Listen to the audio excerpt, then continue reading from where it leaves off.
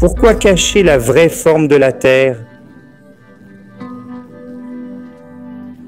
D'abord, les maîtres du système ont caché leur origine.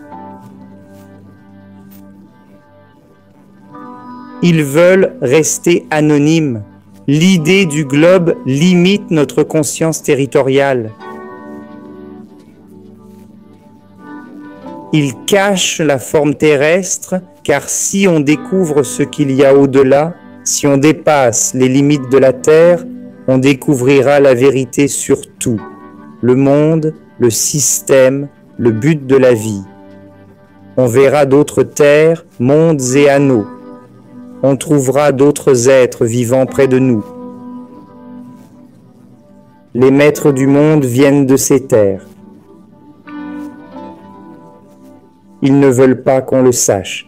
Ils ont créé l'idée du globe pour nous enfermer dans un système clos, limitant notre conscience, surtout ici.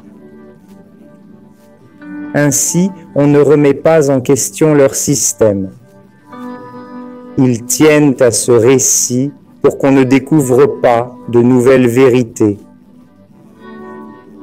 Si on découvre la vraie forme de la Terre, on dévoilera beaucoup d'autres mensonges à commencer par les astres, le soleil, la lune, tout ce qui nous entoure, y compris ce qui est au-dessus de la terre, les dimensions, créateurs, anges, Dieu, l'énergie suprême. La Terre est le seul système qui existe. La Terre est le plan physique. Beaucoup de choses impliquent la Terre. Et les dimensions existent au-delà de la Terre. Ils ont créé l'idée d'univers infini pour qu'on se sente minuscule.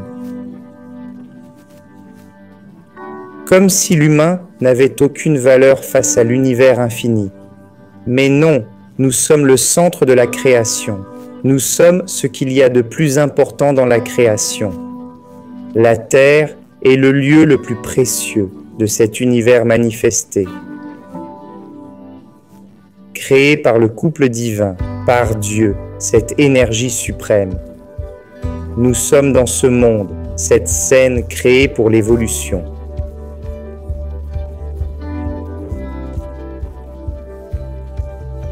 Changer ce décor, altérer la réalité, rompre l'harmonie naturelle.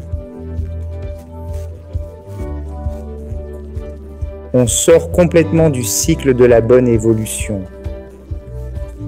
Le soleil, la lune, les étoiles tout fonctionne dans un système.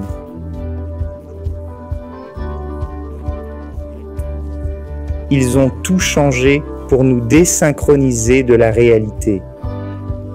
Si on sort de la réalité, on ne peut plus évoluer. On est piégé dans un cycle, la roue du samsara.